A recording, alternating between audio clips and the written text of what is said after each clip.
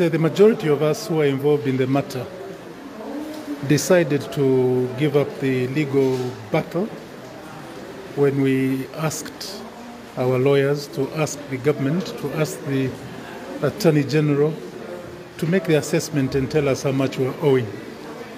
And now that we've been told the figures, obviously we're obliged to pay. Except uh, speaking for myself, I don't know how I managed to raise all that money within 30 days. Uh, that is far beyond uh, my monthly earning. There is no way that I can afford to raise that kind of money within uh, 30 days, save for me going to borrow at high interest rates. So, uh, from a personal perspective, uh, I'm still reflecting upon making an application to the court to extend the period in which I can pay this money. Because I don't think it's the intention of the court to starve me and my family for the next uh, two months. I don't think that's their intention.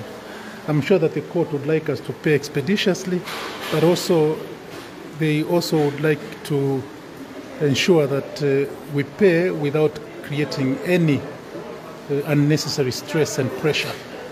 So I'm still reflecting upon it, and I think that uh, in a few days' time, I'll have decided on how to handle the matter. But we certainly shall pay.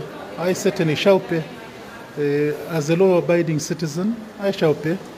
Uh, and uh, leave it at that.